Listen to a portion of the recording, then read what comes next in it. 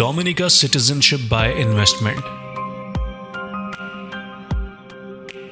सिर्फ़ 90 दिन के तेज तरीन प्रोसेसिंग ट्रैक और महफूज तरीन सरमायाकारी से आप UK Schengen states Hong Kong Singapore Russia और 140 से जायद ममालिक में वीज़ा फ्री ट्रेवल कर सकते हैं। डोमिनिकन सेकंड पासपोर्ट के ज़रिए आप हासिल कर सकते हैं ड्यूअल सिटीजनशिप यानी दोहरी शहरियत। बार बार वीज़ा अप्लाई करने की ख्वारी से निजात।